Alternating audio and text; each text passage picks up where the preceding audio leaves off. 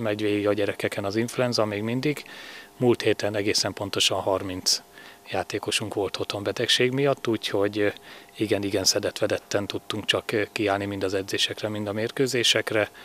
Kedden két nemzetközi mérkőzést játszottunk a Dunaszerdahely csapataival, idősebb korosztályokkal játszottunk, azt gondolom eredményektől függetlenül jól helytáltak a csapataink, eredményben is jók voltak, és tisztességesen játszottak a gyerekek.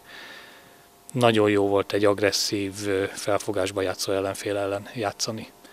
Aztán pénteken játszottunk a Honvéd ellen szinténként korosztályjal. Itt is látszott, hogy megtizedelt minket a betegség, ettől független a Honvéd U15-ös korosztálya ő lefutballozott minket. Jobban játszottak sokkal, és nagyon-nagyon jó egyéni teljesítményeket vonultattak fel nagyon jó tükör, tükröt tartottak elénk, azt gondolom a gyerekeink sokat tanultak ebből, nem szeretnék mentegetőzni, hogy hány gyerekünk volt beteg, sérült, akikkel kiálltunk, az volt a jelenlegi csapatunk, és azoknak a gyerekeknek jobban kellett volna teljesíteni, de nagyon készülünk a visszavágásra. A kicsik, az U14-es csapat pedig döntetlent játszott a Honvéddal, itt is a csapatnak több mint az 50%-a mindig fiatalabb gyerekekből állt, úgyhogy azt gondolom ők tisztességgel helytáltak.